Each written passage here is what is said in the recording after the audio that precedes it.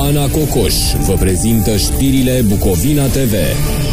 Bun găsit! 30 de jandarmi în cooperare cu polițiști suceveni și lucrători ai Inspectoratului pentru Situații de Urgență vor asigura măsurile de ordine și siguranță publică în zona aeroportului cu prilejul manifestărilor organizate în cadrul mitingului aviatic Suceava Air Show 2013.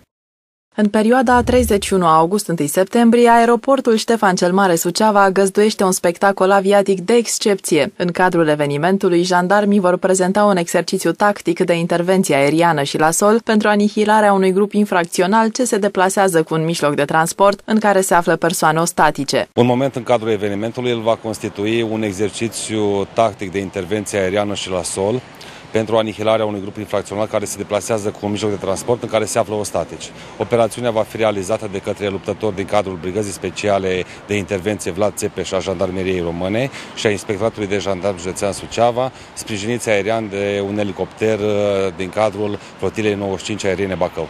Jandarmii suceveni recomandă participanților la manifestări să respecte precizările organizatorilor și ale forțelor de ordine, să acorde o atenție sporită la modul de asigurare a autovehiculelor și bunurilor de valoare și să respecte regulile de acces auto și pietonal stabilite.